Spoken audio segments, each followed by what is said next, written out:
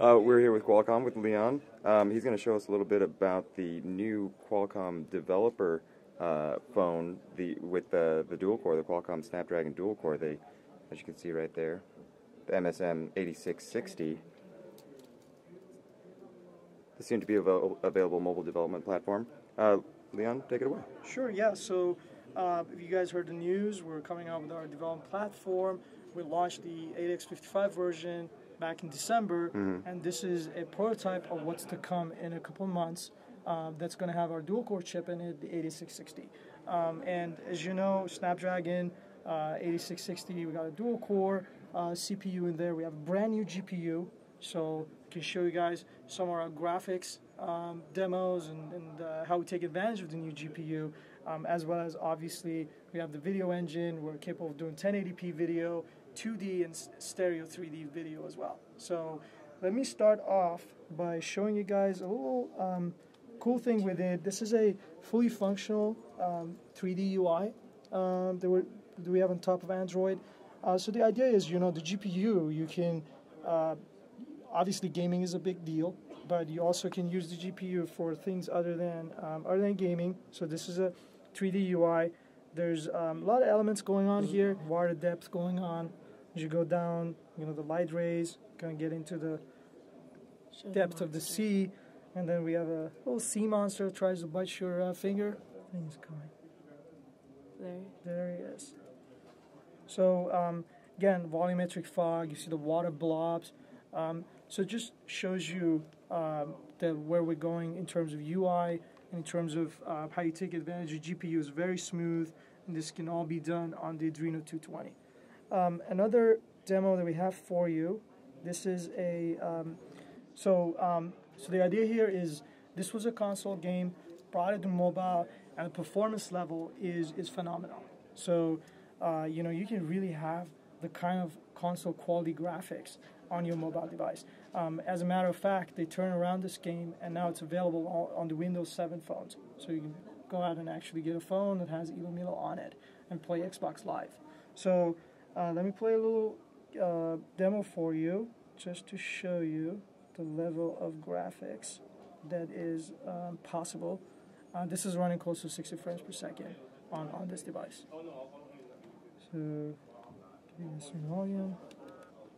Me volume. So, just there's a lot of um, complex stuff going on, very rich environment. So, can get out of this one.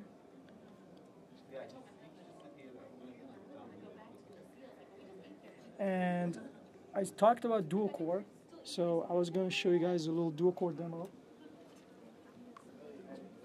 Do you want to see maybe on the TV over there? Yeah. So we're gonna mirror the UI over to the TV over there. So this is all possible through the HDMI output on on the um, on this device. So another cool thing, you know, future phones you can hook it up to your TV. Um, could you could be playing your game on your TV. You could watch your videos. You can do a lot of cool things. Right. So um, here I'm going to show you.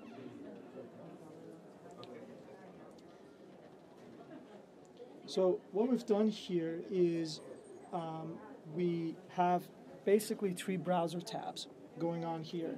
Um, those two are um, a, a browsing experience. So you, you're scrolling up and down. There's lots of stuff going on the page.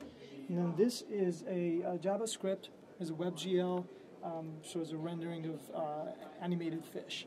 Um, so, and these are your frames per second with one core active. So what I'm going to do is I'm going to go ahead and turn the second core on. Oh wow, much faster. So if you see the fish went from about 8 to 9 frames per second, close to some point I think we were touching 20 with the fish, and then the browser experience goes from 20, 30 frames per second to close to 60. Um, a lot of times we're seeing um, linear scaling in terms of performance. So with the second core on, we're able to double the performance, um, which is pretty impressive. I think you, especially as the browsing experience or, or just the mobile experience is getting richer, the second core is really going to be uh, making a big difference. Um, the other thing, real quick about Snapdragon, is we're capable of doing what we call asynchronous clocking of the two cores. So for power reasons, we're capable of having one core running at, say, really fast clock to give you the full performance in, in the foreground. But at the same time, we can have the second core run at a lower clock to take care of your background tasks. And no other um, uh, player in the industry is capable of doing that. Because it's usually one core on, one core off, or both cores at, at running the the same, speed. clock. So, yes. and then real quick, we wanted to show you some video demos. So this is mirror mode over. HDMI. So I have a few clips. These are 1080p uh, high high bitrate videos. So running it, this one I think was encoded at 18 megabits per second. So let's do that. Start over. There we go. So that's 1080p 1080p video, at 18 megabits per second. 18 megabits per second. You Not see a lot of LMS going on. This is all being processed on the device. Uh, it's not a Blu-ray player. It's your mobile phone. Mm-hmm. Looks good on the phone. Looks even better on the TV. We'll do uh, we're not, we'll do another clip for you guys. It's also also very high bitrate video.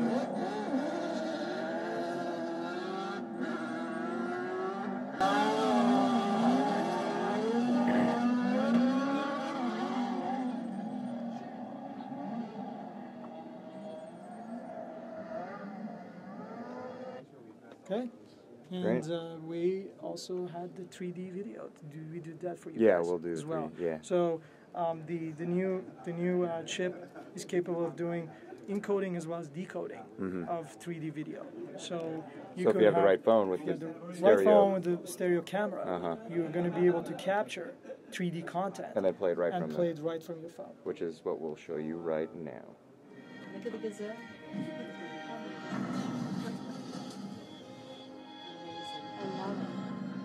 going straight China? from Yeah. the HDMI output to the TV. Skiing, which I want to do. Almost feel the heat.